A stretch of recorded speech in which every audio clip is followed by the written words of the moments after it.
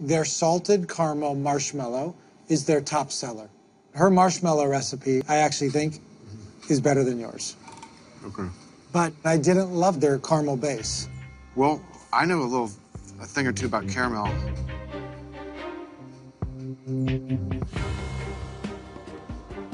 Um, I got, I don't love it. It doesn't have a contrast between salty and sweet. It's just sort of muddled. And make it fairly salty. Does it taste salty to you at all? No, it doesn't. It, it tastes bitter. How much sugar versus cups. corn syrup? Quarter cup.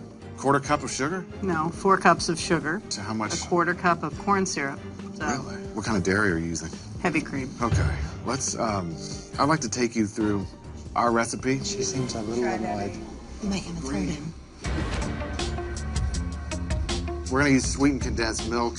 I don't know. You know, you just get kind of used to doing it a certain You way. You wanna try it and see what it does? Alexa, can we talk? For Alexa? Yeah, here's what you do. I feel like your energy is a little off. I usually just have to assess new situations. Because your energy level changed when he came in.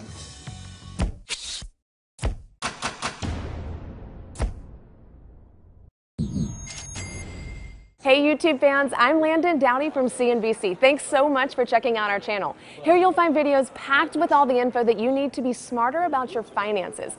Be sure and subscribe by clicking right here and click on all the videos around me to see CNBC's original series Young Money, Tech Bet, Cramer's Mad Money, and all the latest from CNBC.